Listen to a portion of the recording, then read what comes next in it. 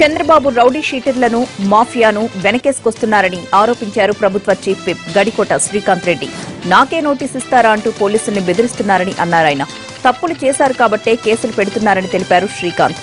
చంద్రబాబు జిల్లాల పర్యటనలో చేసిన తప్పులు ఒప్పుకుని బేషరతుగా ప్రజలకు క్షమాపణ చెప్పాలని కోరారు ప్రభుత్వ చీఫ్ విప్.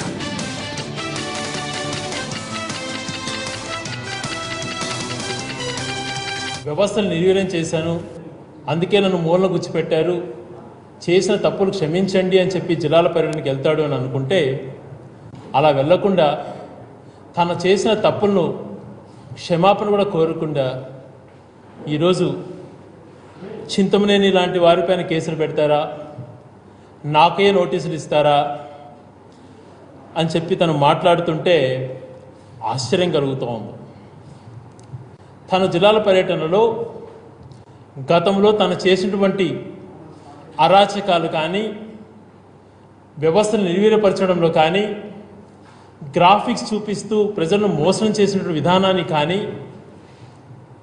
మాఫియాలను క్రియేట్ చేసిన విధానాన్ని కానీ వీటన్నిటినీ కూడా గతంలో అందరం కూడా గమనించాం.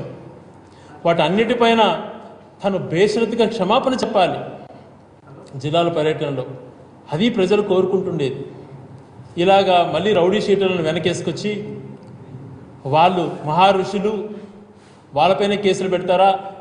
నేను పెద్ద దైవంతో సమానమైన వ్యక్తిని నాపైన కేసులు పెడతారా? నాకు నోటీసులు ఇస్తారా? అని చెప్పి మాట్లాడుతుండడం చాలా ఆశ్చర్యకరం.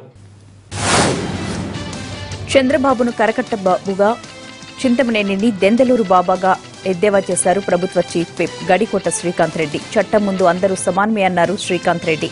తప్పు ఎవరు చేసినా చర్యలు తప్పవని హెచ్చరించారు.